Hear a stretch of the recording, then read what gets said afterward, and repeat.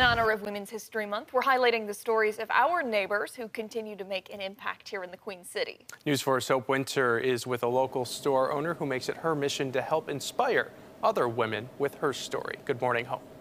Good morning, Abby and Chris. This morning, we're learning more about Susan and Sierra Morial's story and how they continue to empower women here in the Queen City today.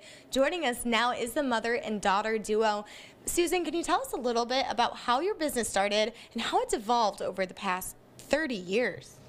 Oh, gosh, evolved, yes. Well, I would say that the core of our business has really stayed the same. It's always been about um, sharing stories and empowering women to live their best life. So it's evolved in the sense that as as we've grown, as I've grown as a person and my journey in life, it's I've taken along all of that through my in my business. So a lot of the business is is about how we want to live our lives. It's a lifestyle and how we take care of ourselves, and just really helping helping other women to see that in themselves and kind of live that kind of life as well.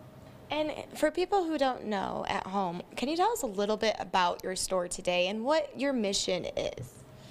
Well, our mission is definitely about um, taking care of yourself and how and what what does that actually mean and how does that look? And we always talk about the mind, body, soul connection. And honestly, it's it's really true to really nurture and take care of all those aspects of your life. So our business really helps you to really. Um, step into empowering yourself and taking care of your mind, your body, and your soul with all the different products that we have here.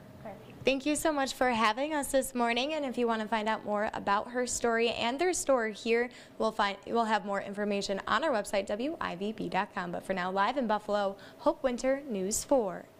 Thank you, Hope. It's 538.